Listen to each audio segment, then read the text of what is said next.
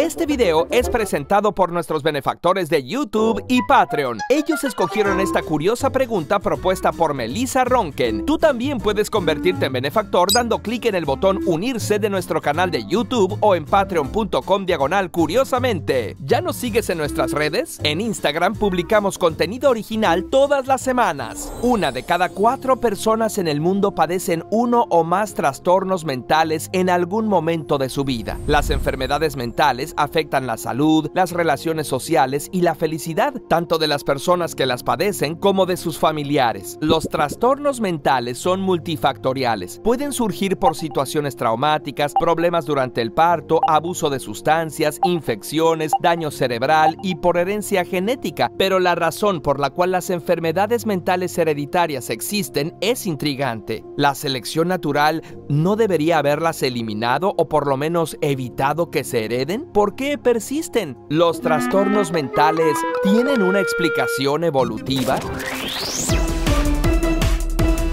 Médicos y científicos se quedaron asombrados cuando descubrieron que la incidencia de la esquizofrenia es bastante estable a pesar de que el 81% de los casos tienen un origen genético y que los pacientes tienen menos descendencia que el promedio. ¿Cómo era eso posible? Se le nombró la paradoja de la esquizofrenia. Con el tiempo se ha visto que 90% de los casos de autismo, 85% de los casos de desorden bipolar y 37% de los de depresión unipolar se deben a causas genéticas. Esto dejó a los investigadores más extrañados y la paradoja de la esquizofrenia se convirtió en la paradoja de los trastornos mentales. En 1995, el médico Randolph Nessy y el biólogo George Williams publicaron el libro ¿Por qué nos enfermamos?, donde propusieron un nuevo enfoque para estudiar y tratar las enfermedades hereditarias a partir de su origen evolutivo. Esta nueva rama de la medicina es la medicina evolutiva o medicina darwiniana y aplicada en los trastornos mentales se conoce como psiquiatría evolutiva. Ha propuesto varias hipótesis sobre la evolución de las enfermedades y trastornos. Estas son algunas de ellas. Equilibrio de selección de mutaciones. Podría ser que las mutaciones surgen tan rápido que la selección natural no puede eliminarlas todas, aunque no se ha encontrado mucha evidencia que apoye esta idea. Discordancia. Otra hipótesis es que los humanos modificamos tan rápido nuestro medio, alimentación y prácticas que la evolución de nuestros genes se ve rezagada. Quizás ciertos rasgos eran benéficos en condiciones pasadas, pero hoy en día son perjudiciales. La discordancia surge como la explicación a trastornos por consumo de sustancias. Por ejemplo, estudios sugieren que los humanos evolucionaron para aprovechar las propiedades neurotóxicas de la nicotina como una forma de eliminar parásitos. Así que probablemente nuestra historia evolutiva nos tienta a consumir ciertas sustancias dañinas que nos ayudaron en el pasado. En otras enfermedades genéticas, esta explicación queda más clara. Por ejemplo, nuestra capacidad y predisposición de acumular energía para sobrevivir en tiempos de escasez de alimento es parte de la causa de los problemas de obesidad en una sociedad donde hay abundancia de comida con alto contenido calórico. Selección estabilizadora. Las mutaciones son benéficas en formas más discretas. La preocupación nos ayuda a planear el futuro, el miedo a evitar situaciones peligrosas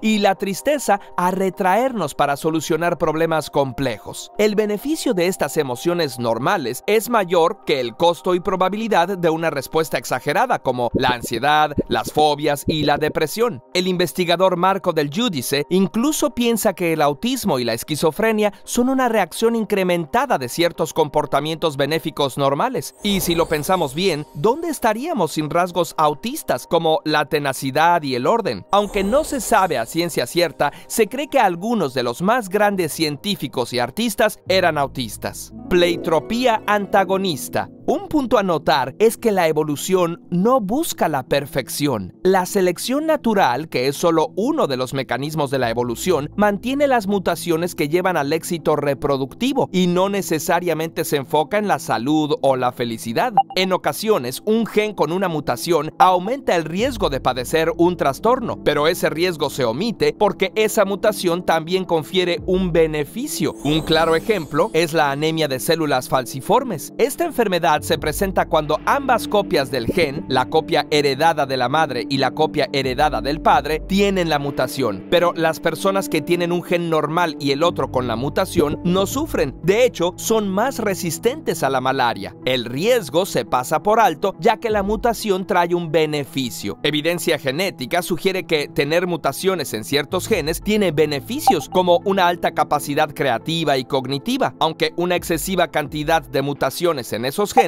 podrían producir esquizofrenia. Subproducto. A veces las mutaciones perjudiciales no están asociadas a un beneficio, simplemente han sido arrastradas como un polizón junto a otras mutaciones, quizá porque están en regiones cercanas o porque nuestro ADN y rutas metabólicas son muy complejas y hay una superposición de elementos. Por ejemplo, un sistema inmune fuerte es algo deseable para combatir enfermedades, pero un sistema inmune hiperactivo se ha asociado a trastornos mentales como la depresión, debido a las vías metabólicas que comparten. Aunque otros científicos creen que la depresión no es un subproducto, sino que es parte funcional del mecanismo de defensa. ¿Qué tal eso? Estudiar el origen de los trastornos mentales que tienen un alto componente genético es complicado porque se involucran mutaciones en cientos o miles de genes, pero se empieza a ver que lo que se cataloga como un mismo trastorno puede tener diversos orígenes genéticos y ahora comienza a tener sentido por qué un mismo trastorno puede presentarse de diferentes formas. A pesar de que se tiene el manual diagnóstico y estadístico de los trastornos mentales, sigue siendo complicado diagnosticarlos y tratarlos debido a la alta comorbilidad y la falta de biomarcadores. Al final, se acaba encasillando a las personas en trastornos poco comprendidos. Las enfermedades mentales son un espectro con diferentes orígenes y por ello su tratamiento debe ser flexible e ir de acuerdo a cada caso. La investigación de la medicina evolutiva va en crecimiento y parece tener algunas de las respuestas. Aún así, es importante reconocer que las enfermedades y trastornos genéticos son multifactoriales y que la medicina evolutiva no debería reemplazar otros enfoques como la medicina molecular, la biología del desarrollo o la psicología, sino trabajar en conjunto para encontrar nuevos tratamientos. Curiosamente, le mandamos un saludo muy especial a Adrián Ruiz Díaz, Alberto Campano, Daniel Guerrero, Daniel Larrea, Eric Hernández, Esaú Jorques, Familia Rebollo Sainz, Felipe Retamales, Francisco Dueñas, Francisco Tejeda, Jaime Josué Espinosa, Javier Navarro, Luis Malo, Manuel Valderrábano, Marco Ricardo Zunzunegui, Marco Rivera, Noemí Moreno, Oscar del Greco, Paulo Reinaldo, Benz Goldfish, Rafa Chetitos, Raúl Noriega, Raúl Sánchez, Rodrigo Castro, Tania Moreno y William Montenegro.